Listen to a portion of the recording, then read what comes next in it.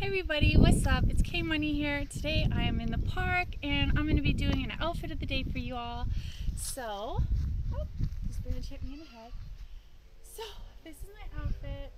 I'm wearing um, my little top just in case I get cold so that I'm not exposing myself so much. So this is the front.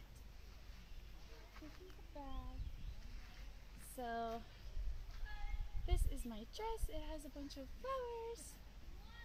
So here's what it looks like. And with that, I have my matching shoes that go with the dress. They're so cute. They have flowers on them and everything. I got the dress on, flowers on, because it is summertime. So that's it. So happy, guys. It's a beautiful day. It's sunny and I'm feeling great. I'm gonna go get my hair bleached. I um I don't know if I told you guys, but I actually crushed my glasses a few weeks ago. So uh, I went and I bought a new pair of glasses today. They're Michael Kors.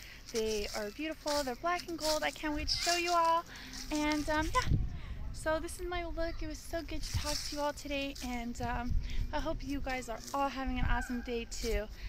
Love you. Bye.